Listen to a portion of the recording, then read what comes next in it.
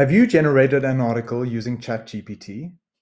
Great, but how do you know if the output is factually accurate? What if it is full of sentences that are inaccurate and misleading? The team behind ChatGPT fully acknowledges that even though the content sounds plausible, it can also be incorrect and nonsensical. Once I've generated an article using ChatGPT, the effort it would take to manually fact check each sentence and assess the credibility would be tedious and time consuming. However, with Factiverse, you can copy any text and paste it into our fact checking editor.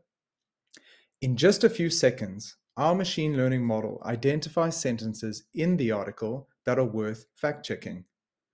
As you can see, these sentences are highlighted in red or green.